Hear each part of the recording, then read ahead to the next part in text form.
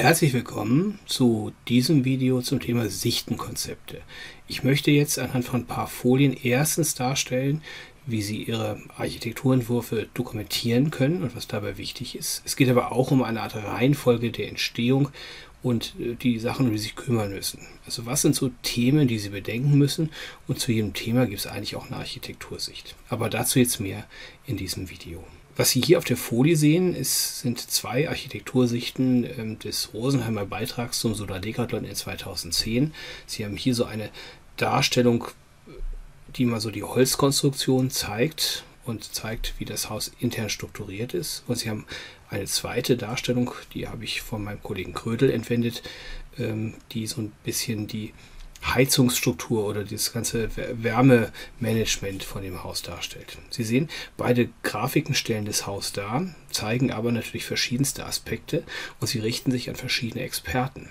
Das eine vielleicht an jemanden, der Holzkonstruktionen macht, vielleicht an Architekten.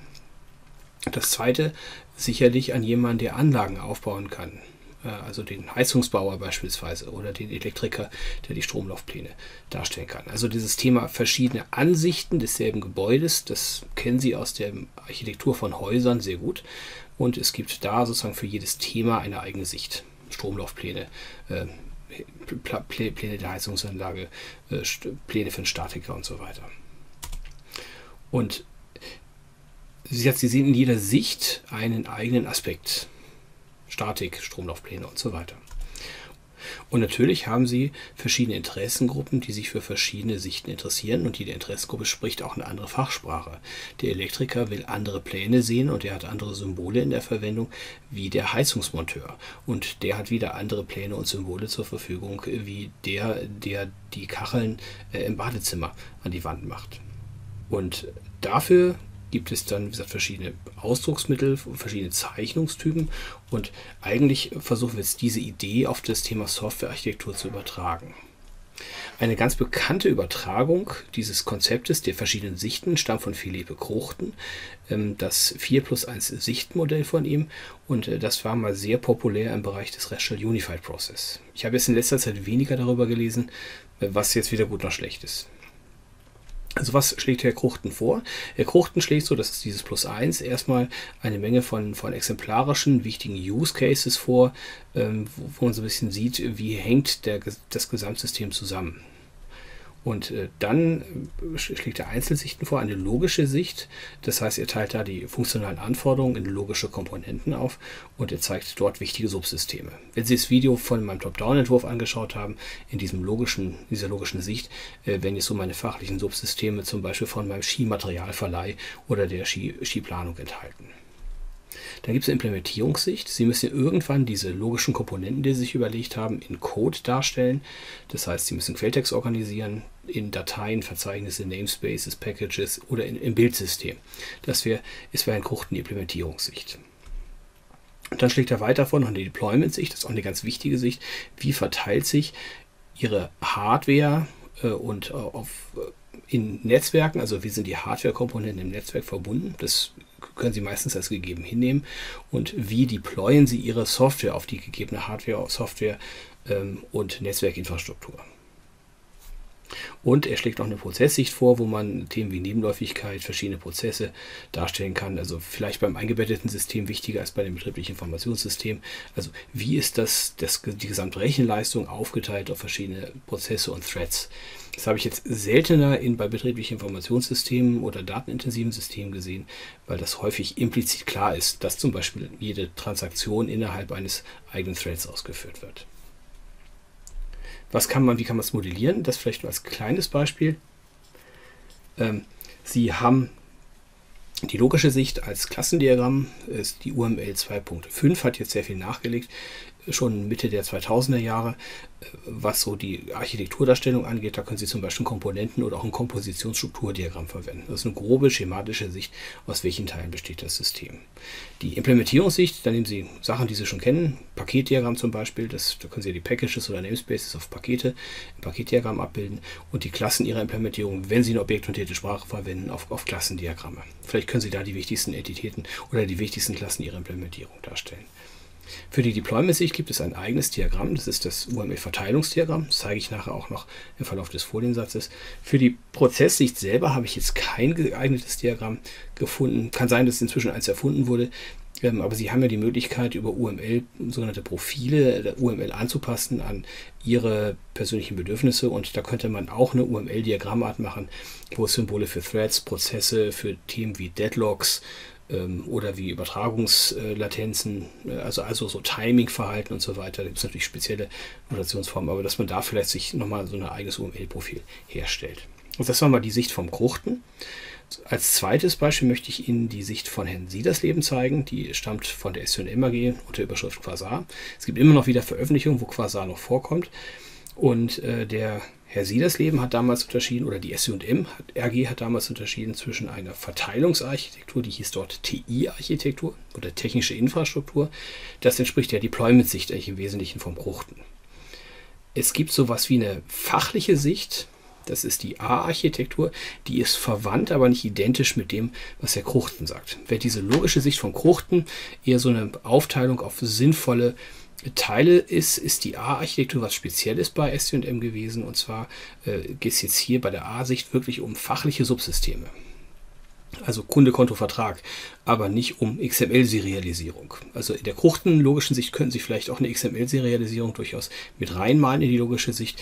In der A-Architektur dürfen wirklich nur Fachkomponenten drin vorkommen, also Kunde, Konto, Vertrag, Versicherungsschein und so weiter. Ganz spannende Sicht finde ich, ist die T-Architektur. Ähm, halte ich für sehr sinnvoll, auch um so ein bisschen zu verstehen, äh, wie Frameworks funktionieren und auch als Lesehilfe für Ihren Source Code. Man könnte das mit etwas Fantasie auch als Laufzeitsicht interpretieren, weil ich an der T-Architektur sehe, wie wird ein Request über die verschiedenen Architekturschichten zur Laufzeit verarbeitet also was passiert, wenn ich irgendwo einen Knopf drücke in der GUI bis zum Datenbankzugriff und wie tickert das Ganze wieder hoch, äh, bis die Datenbankantwort wieder beim Client gelandet ist. Also das ist sozusagen die T-Architektur. Da kann man natürlich noch weitere Sichten mit reinbauen, aber so meine Beispiele sind eigentlich meistens so diese eher laufzeitgeprägten Dinge. Also das war mal die, das Siedersleben-Konzept oder das Quasar-Konzept. Ist auch veröffentlicht worden. Ich habe da unten auch die Literaturquelle Moderne Softwarearchitektur äh, vom Johannes Siedersleben aus 2004. So, Bevor wir jetzt anfangen, wirklich im großen Stil äh, Architektur, Grafiken zu erzeugen oder auch Prosatexte zu schreiben, ist vielleicht nochmal eine Frage, wie malen wir das jetzt hin? Und äh, das muss man vielleicht auch nochmal deutlich ausdiskutieren. Ähm, Sie haben ja im Wesentlichen zwei Möglichkeiten zur Verfügung. Einmal, Sie nehmen sozusagen unseren Branchenstandard, wenn man so will. Also das heißt, Sie nehmen die UML 2. Ich glaube 5.1 ist man, glaube ich, jetzt gerade in der Nummerierung. Das ist ein Standard, wird gepflegt von der Object Management Group. Ist jetzt seit Jahren nicht viel passiert, soweit ich das wahrgenommen habe. Also der letzte große Knall war im Jahr, im Jahr 2005 mit der UML 2.0. Und dort wurden verschiedenste Architekturdiagrammarten auch ergänzt. Zum Beispiel ein sauberes Verteilungsdiagramm. Ähm, das wurde so ein bisschen geschärft und ein Komponentendiagramm wurde ergänzt. Also kann man UML verwenden. Das ist, wenn wir die Grafik jetzt anschauen, das ist so ein UML-Diagramm äh, für Verteilung. Das ist von der Grafik her ein bisschen sperrig. Es ist schwer zu zeichnen. Natürlich mit dem Werkzeug ist das relativ egal, weil dann nehmen Sie aus der Symbolbibliothek einfach ein Symbol. Aber wenn Sie jetzt mit drei Typen um ein Whiteboard herumstehen, jeder hat einen Stift in der Hand, ist es schwierig aufzuzeichnen. Deswegen sind in solchen Fällen, wenn Sie also mit einer kleinen Menschengruppe zusammen sind und brainstormen müssen, äh, also nicht Sie alleine vom Rechner mit Ihrem Maltool, sondern ein Haufen Leute vom, vom Flipchart oder Whiteboard, ist UML eigentlich ungünstig in der Erstellung. Und da nehmen Sie besser äh, eine, eine selbstgestrickte Notation her, weil Sie da schneller auch mal ein neues Symbol erfinden können, wenn Sie irgendeinen besonderen Sachverhalt visualisieren wollen. Und Sie haben es schneller gezeichnet, auch schneller wieder verändert. Das sehen Sie jetzt hier so ein bisschen als Gegensatz ein UML-Verteilungsdiagramm. Und hier sehen Sie ein ähm, Verteilungsdiagramm in selbst ausgedachter Notation mit ein paar mehr Informationen dran.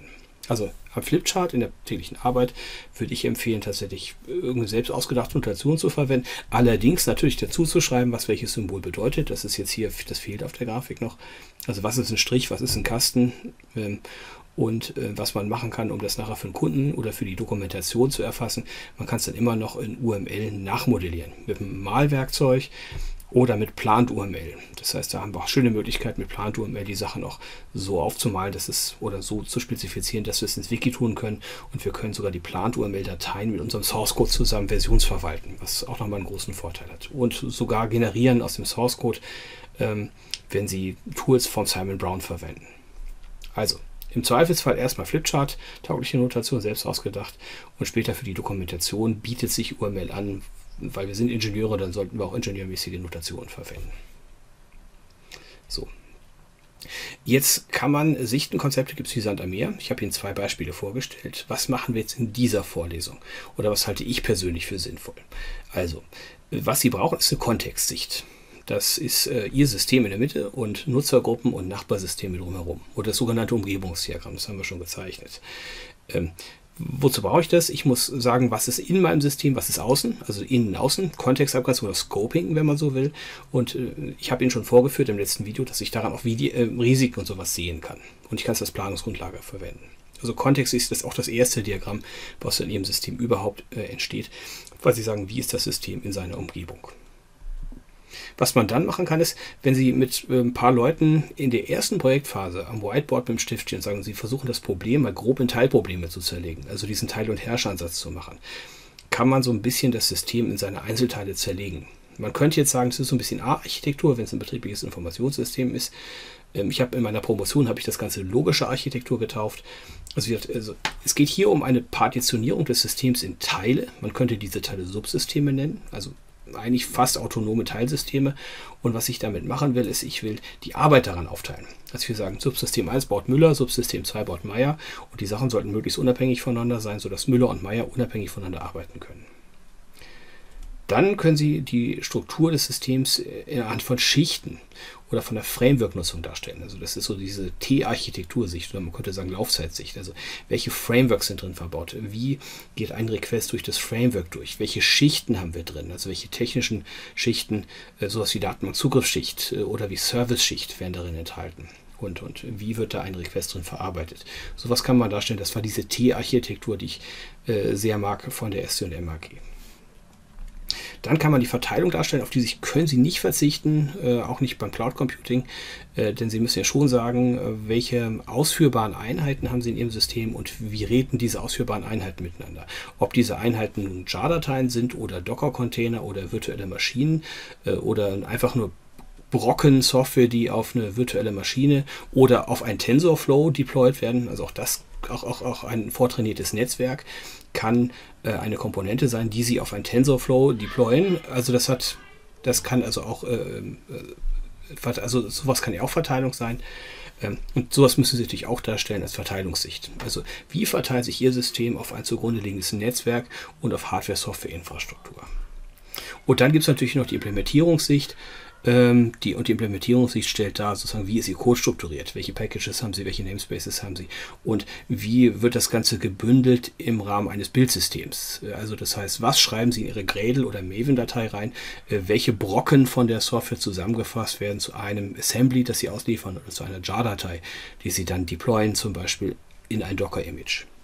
Also haben wir insgesamt ähm, fünf Sichten oder fünf Teile, über die Sie nachdenken sollten in meinen Augen. Ähm, und die gucken wir uns jetzt als Diagramme mal im Detail an. Hier sehen Sie ein Beispiel für ein Umgebungsdiagramm.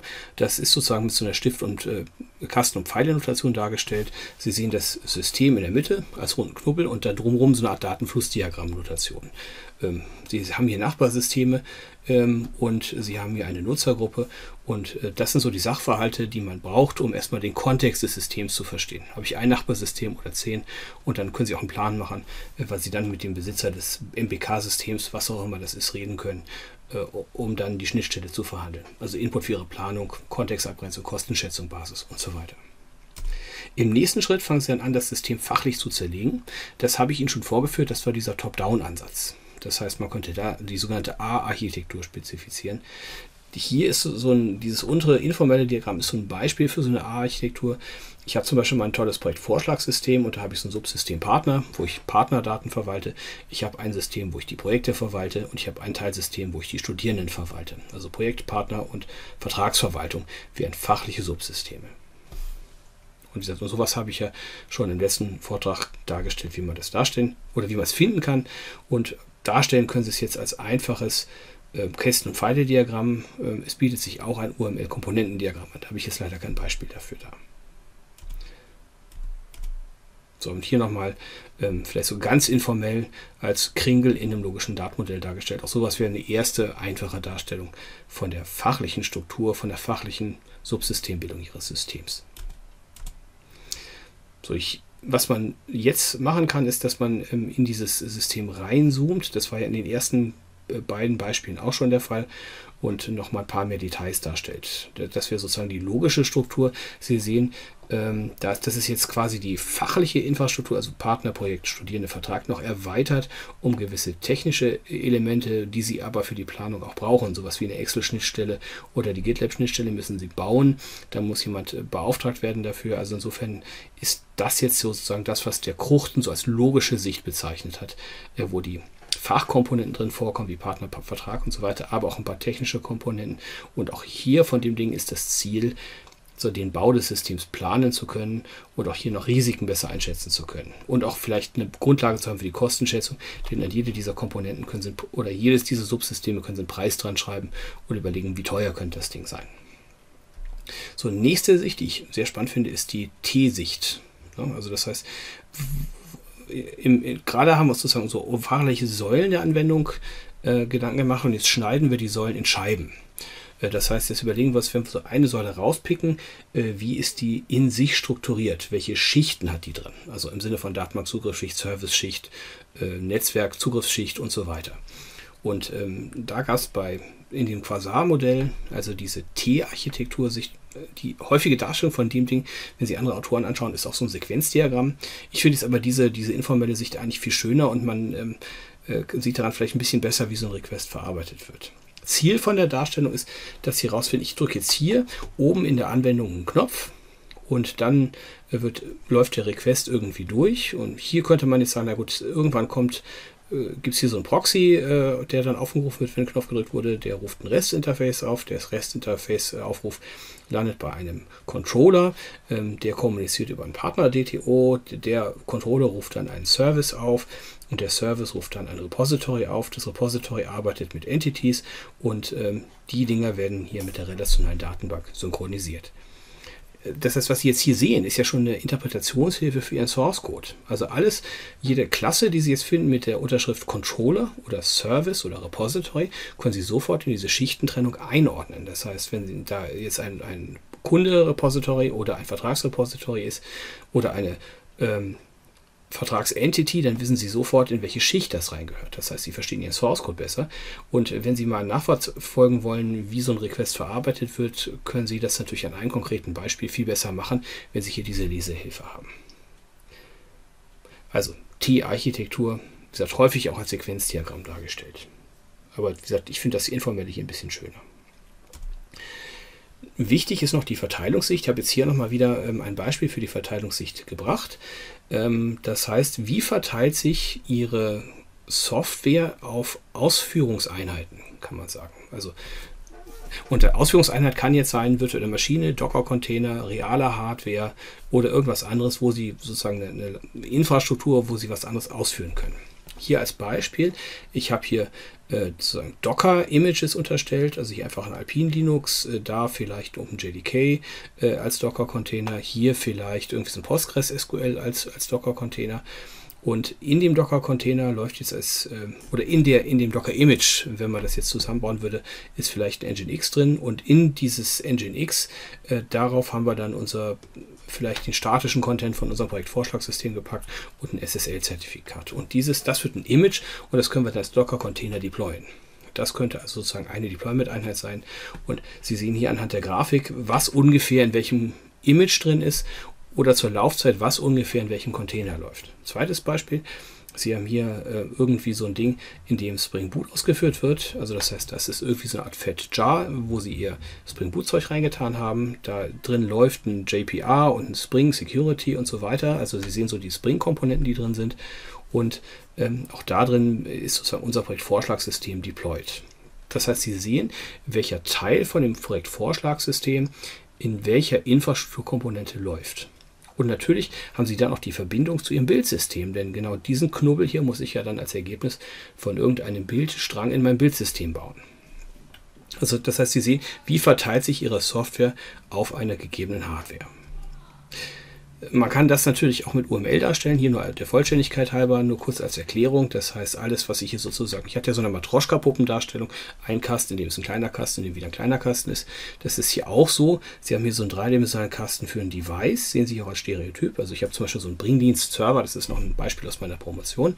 Und in dem läuft ein Surflet-Container und in dem Surflet-Container unter dem, also zusätzlich läuft dann noch ein Application-Server und da deploye ich in den einen das UI.var und in dem anderen das Core.ear.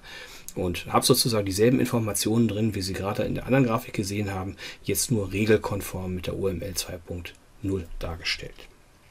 Also das heißt für die spätere Dokumentation, äh, wenn das wichtig sein sollte, ist natürlich diese Darstellung, die Sie hier sehen, wichtiger. Was kann man jetzt noch machen? Die Info Implementierung sollen Sie darstellen. Äh, warum macht man das? Naja, Sie, Sie müssen jetzt darstellen, äh, wie Sie Ihre Software wie sich die zusammenbündelt in deploybare Komponenten.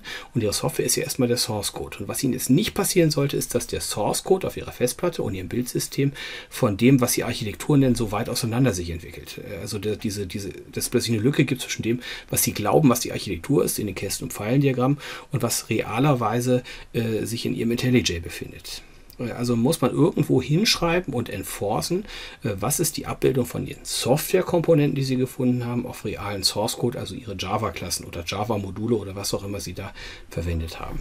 Also das heißt, da, da, da brauchen Sie eine Darstellung und die sollte natürlich möglichst nah am Code oder im Code stehen.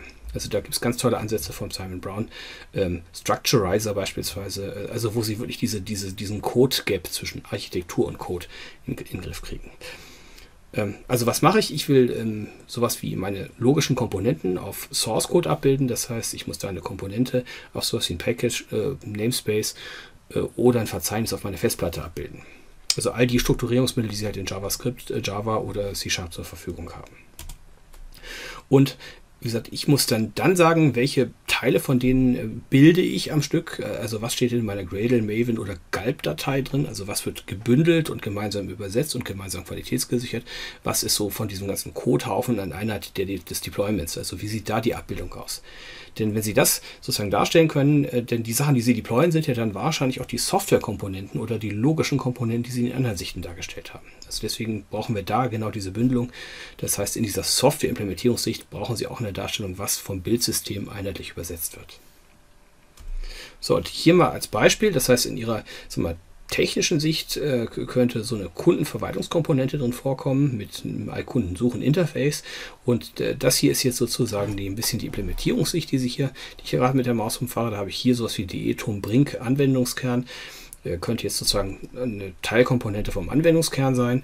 Und das, was ich hier so als Knubbel habe, das ist hier vielleicht die Transportstruktur äh, kurz und in lang und, und vielleicht ein Interface und vielleicht eine Implementierung dazu. Und schon das ist jetzt eine Lesehilfe äh, für die Package-Struktur auf meiner Festplatte, wenn es in Java implementiert ist. Also wie gesagt, ich wiederhole nochmal, Implementierungsarchitektur als Mapping auch, oder das muss dargestellt sein, wie bildet sich eine logische Komponente aus den anderen Architekturen oder eine Einheit des Deployments aus der Verteilungsarchitektur hier auf ihre Java-Klassen, C-Sharp-Klassen oder JavaScript-Prototypen ab. Das wäre die Implementierungsarchitektur. So, das waren so die wesentlichen Architektursichten, die wir in unseren Projekten brauchen. Soweit ich das weiß, sowas wie eine Laufzeitsicht mit Threads und so weiter kommt jetzt nicht vor, weil wir die bisher äh, nicht so gebraucht haben. Wir wollen ja keine Kernkraftwerkssteuerung. Ähm, wir würden jetzt im nächsten Schritt uns nochmal anschauen, im nächsten Video, wie bewerte ich denn jetzt die tollen Dinge, die ich mir da ausgedacht habe. Ähm, Kästen und Pfeile sind ja nicht ausführbar äh, auf einer virtuellen Maschine. Wie komme ich trotzdem zu einer Qualitätsaussage? Das im nächsten Video.